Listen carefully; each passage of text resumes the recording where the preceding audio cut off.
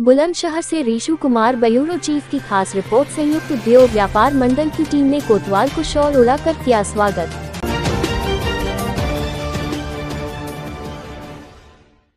बुलंदशहर में शिकारपुर नगर के संयुक्त उद्योग व्यापार मंडल की टीम कोतवाली प्रभारी निरीक्षक राजेश चतुर्वेदी से मुलाकात की और नगर के बारे में कुछ जानकारी दी और नगर की कुछ समस्याओं को बताया। कोतवाली प्रभारी निरीक्षक राजेश चतुर्वेदी ने कहा, जो भी समस्या आपके द्वारा बताई गई है, उन समस्याओं का हल जल्द से जल्द किया जाएगा। संयुक्त उद्योग व्यापार मंडल की टीम ने कोतवाली प्रभारी को शॉल उड़ाकर स्वागत किया। वही कोतवाली प्रभारी ने संयुक्त उद्योग व्यापार मंडल की टीम से कहा कि आप नगर में व्यापारियों के प्रतिष्ठान पर सीसी सीसीटीवी कैमरे ज़्यादा से ज़्यादा लगवा दें, जिससे व्यापारी भी सुरक्षित और व्यापारी का सामान भी सुरक्षित रहेगा। वही संयुक्त उद्योग व्यापार मंडल के अध्यक्ष महामंत्री ने कोतवाल से कहा कि नगर में मैन चौराहे पर एक दुकान में चोरी हुई थी। उस चोरी में क्या चल रहा है? कोतवाल ने कहा, जल्द से जल्द चोरी का खुलासा होगा। संयुक्त उद्योग व्यापार मंडल के अध्यक्ष मनीष गुप्ता, महामंत्री संदीप सिंघल, प्लाईवुड वाले पवन सिंघल, सुनील अग्रवाल, गौरव सैनी आदि टीम मौजूद रही।